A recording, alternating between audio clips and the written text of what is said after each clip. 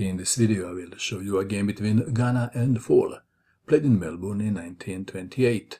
Gunnar had white pieces and he started with e4.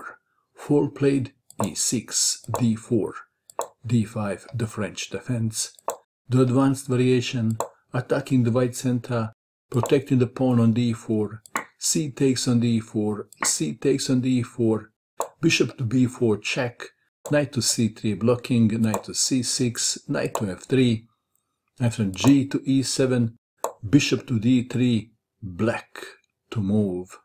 Perhaps bishop to d7 or knight to f5 should have been considered, although even then white is still better. Black castled king's side. He castled into it. White to move. What would you do in this position if you had white pieces? Have you heard of the Greek gift? The move is bishop takes on h7 check. King takes bishop.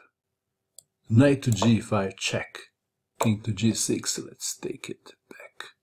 If the king goes to g8, then white would continue with queen to h5.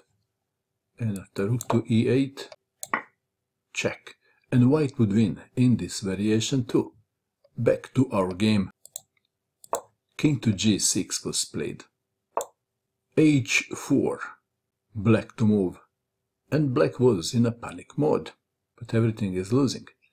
Knight takes on d4 was played. Queen to g4.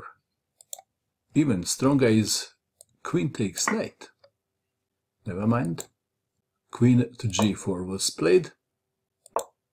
f5. What is the best square for the queen? White played h5 check. King to h6. Knight takes on e6. Discovered check. g5. White to move. What would you do? White to move and to checkmate with en.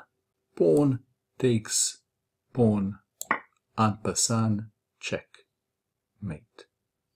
What a beautiful checkmate. What do you think of this game?